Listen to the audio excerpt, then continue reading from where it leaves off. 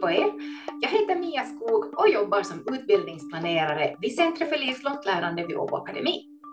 I det här materialpaketet, som är nummer 12 inom fortbildningshelheten Kaskad, så ska vi diskutera både hur man planerar och bedömer mångsidig kompetens, men också mångvetenskapliga lärområden.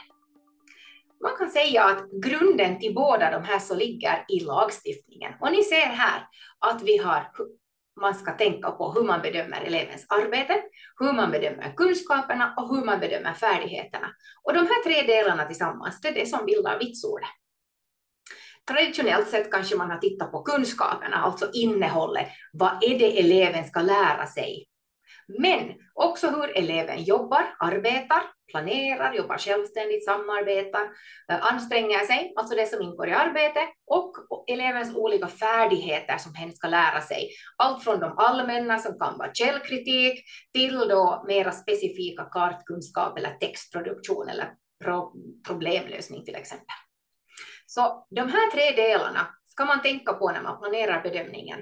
Och när man genomför bedömningen, det är alltså inte bara fråga om kunskaper, utan det är alla tre delar tillsammans. Nå, vi börjar med de mångvetenskapliga lärområdena. Och ni ser där att vad är det här då? Ja, i ett mångvetenskapligt lärområde så vill man alltså ge eleven möjligheter att förstå fenomen, större fenomen, som kanske kommer upp i flera olika ämnen.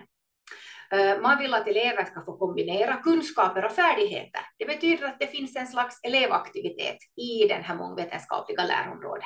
Så det kan inte enbart vara en föreläsningsserie med externa sakkunniga, utan det måste finnas också en elevdelaktighet här. Man vill att eleverna ska få vidga sin världsbild och att det ska ha en koppling till elevens värld. Och det här är nu utdrag från äh, läroplanen. Samma sak är det med nästa slide, det är också ett direkt utdrag från läroplanen. Helhetsskapande undervisning, alltså i det ingår då de här mångvetenskapliga lärområdena. Och de kan genomföras alltså på många olika sätt.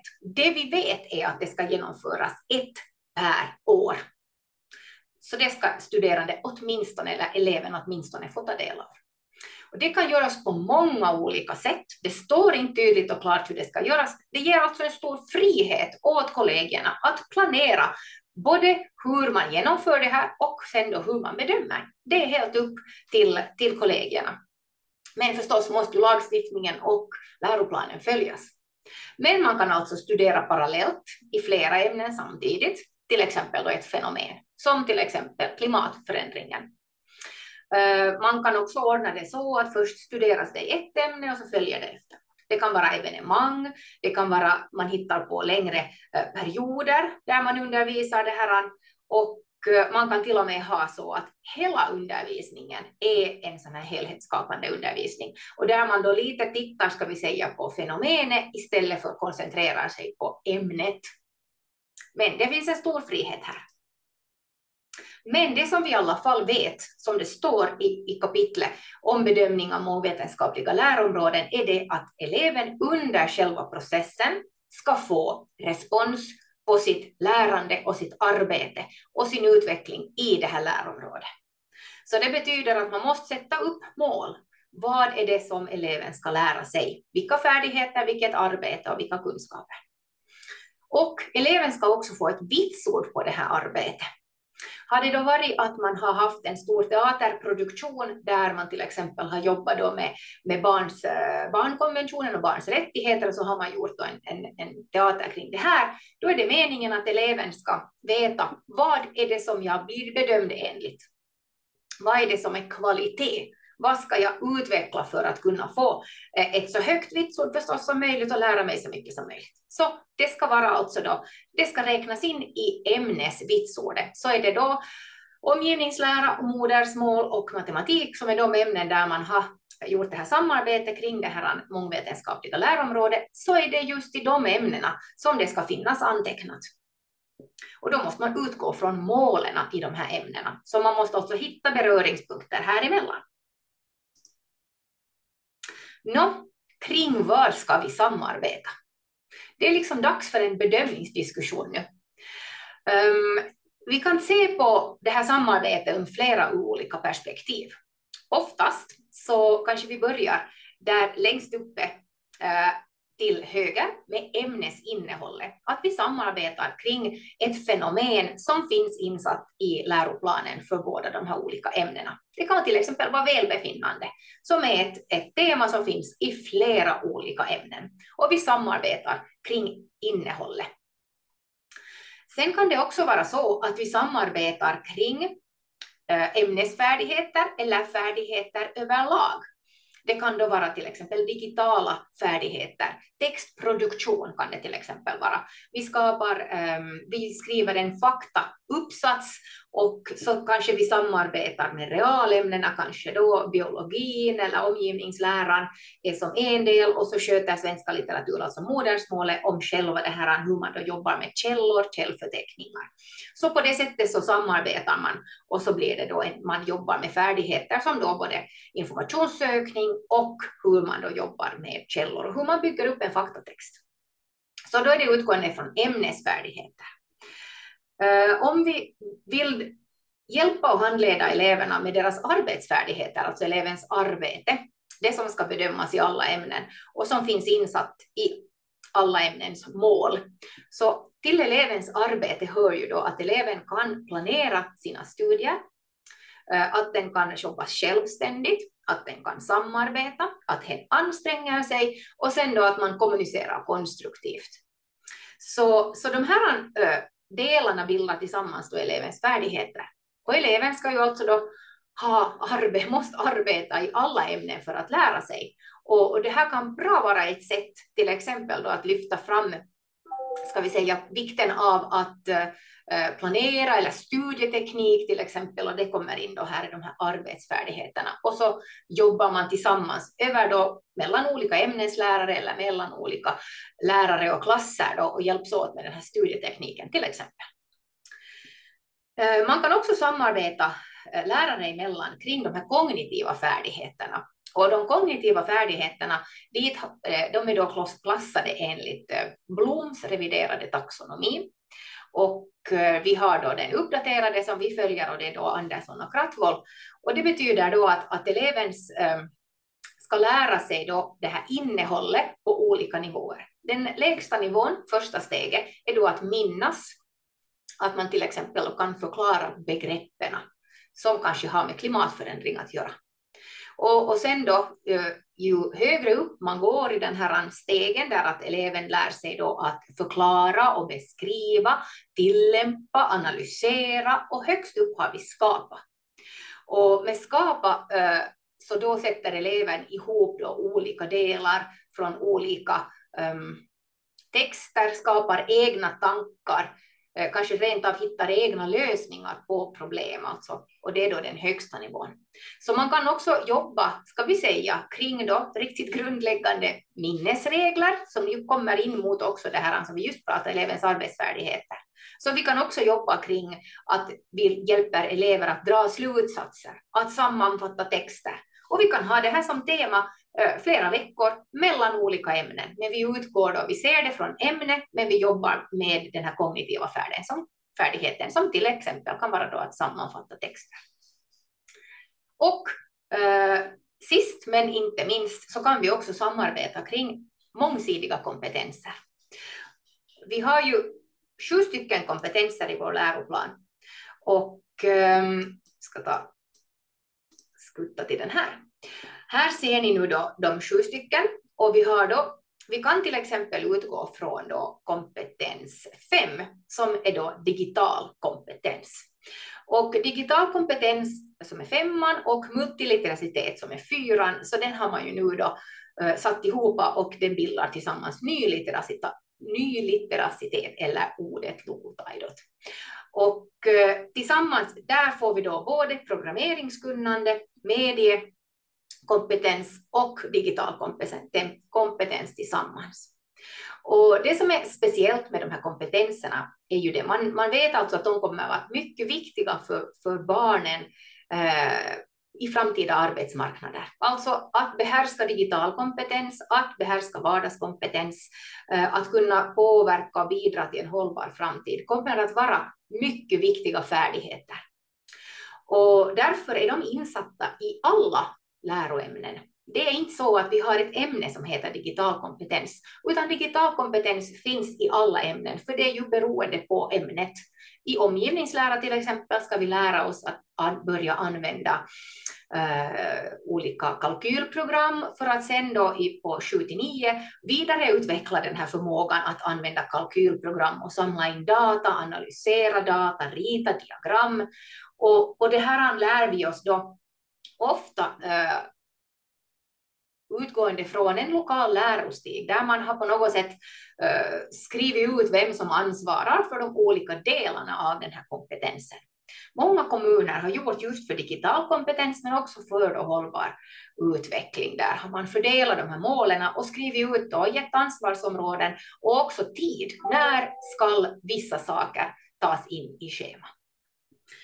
Nå, som ni ser att vi kan alltså samarbeta på många olika nivåer, så det behöver inte alltid vara kring samma eh, tema vi samarbetar, alltså, utan ni kan, och jag hoppas att ni nu har möjlighet att sätta er ner tillsammans och jämföra olika ämnen och deras mål och färdigheter, kunskaper, arbete och kompetenser och hitta gemensamma eh, beröringspunkter som ni tycker att skulle vara viktiga att era elever skulle få jobba med.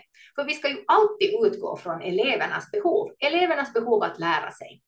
Och eh, det kan hända att här i den här diskussionen så skapas det då nya bryggor som ni finner att ja, men det här skulle man kunna ta tag i.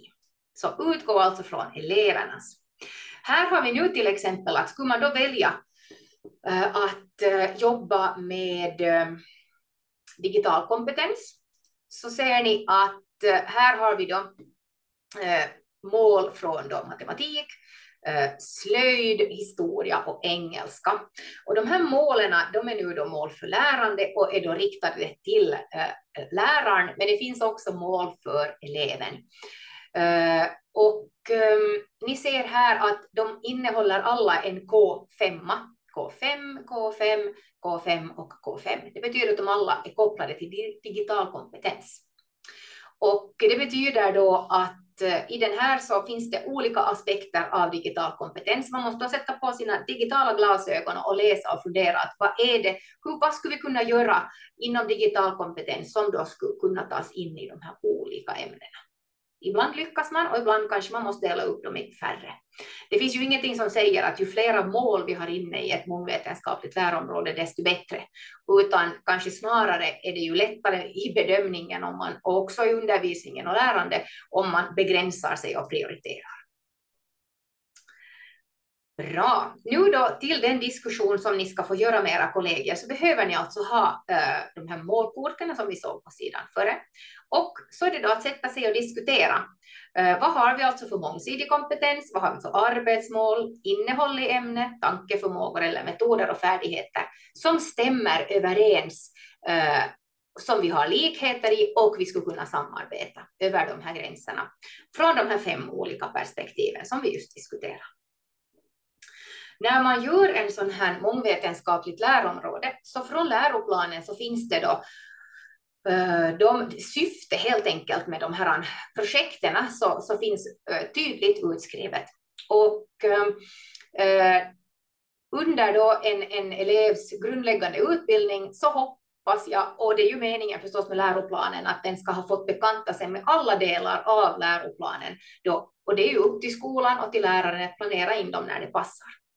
Men ni ser från den här checklistan så, så får man hjälp då dels att direkt planera den här, men också se ur ett längre perspektiv.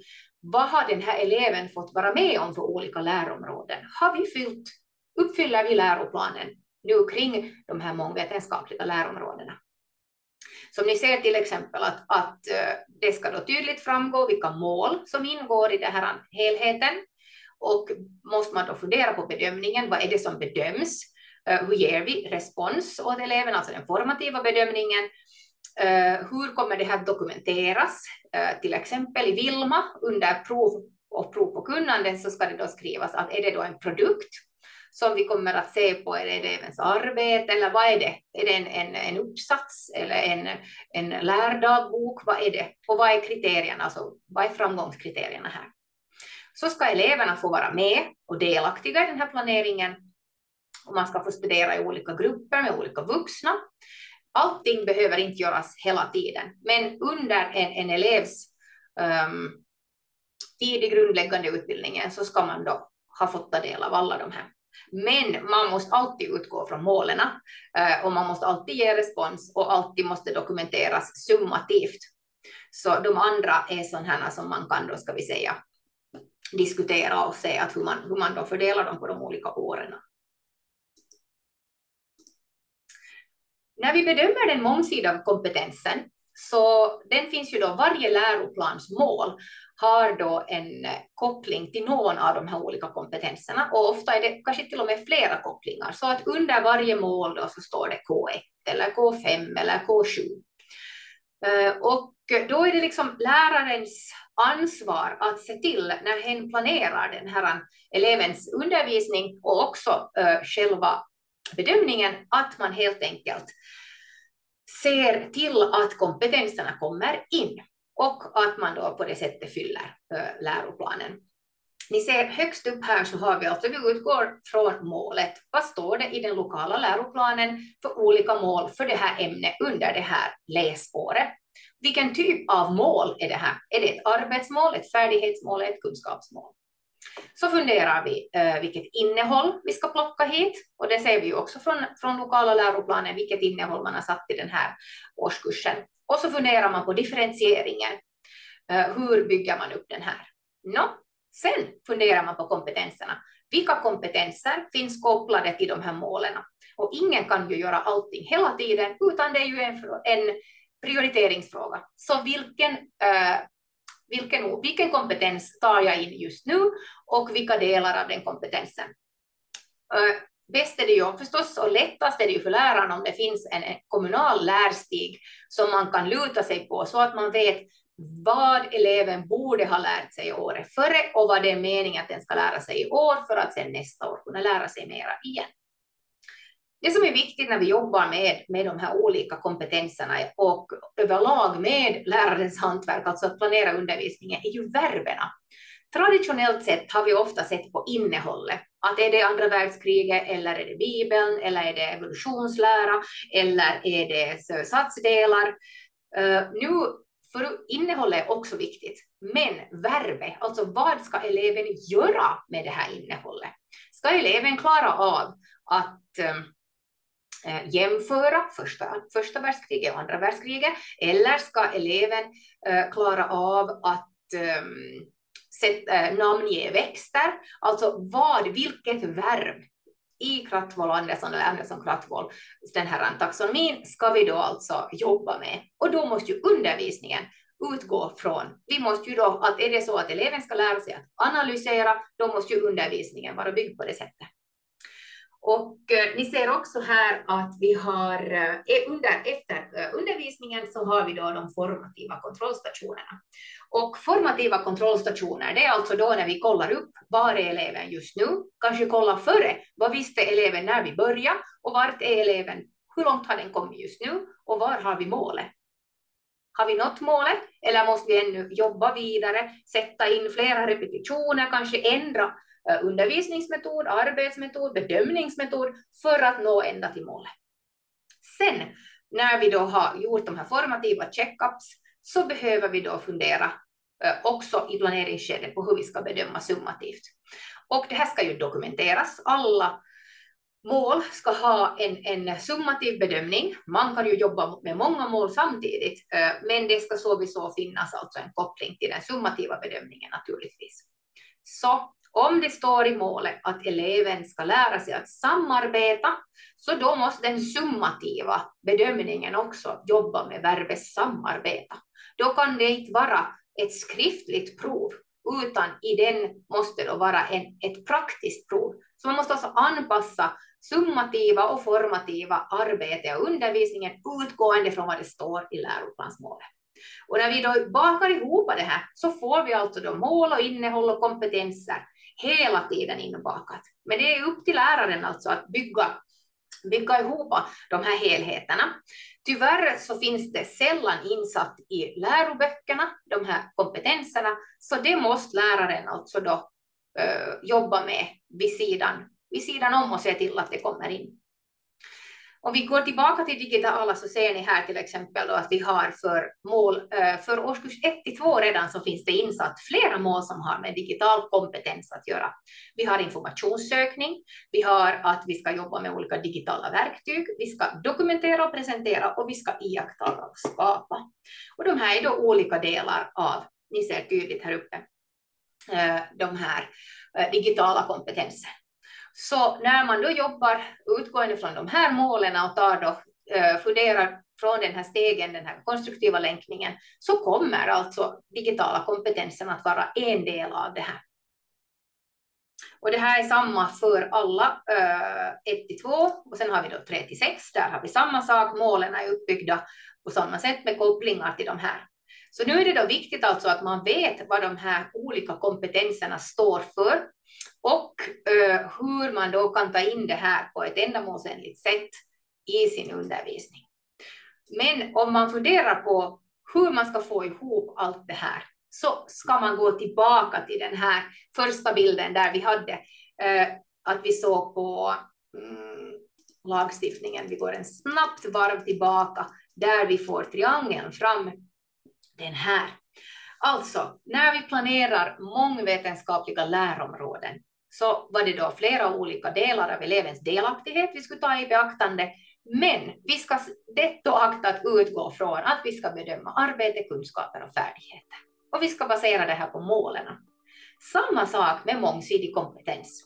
Om eleven ska lära sig digital kompetens så måste göras i ett ämne utgående från ett mål och ett innehåll och vi måste ha koll på kunskapskraven, om det finns för det ämnet. Och det, det är ju årskurs 1 och 2 som inte nu har kunskapskrav. Alla de andra kommer från hösten 23 att ha då fyra nivåer av kunskapskrav. Så utgående från det här så planerar man då sin bedömning av de här både mångvetenskapliga lärområdena och eh, mångsidiga kompetenserna. Lycka till!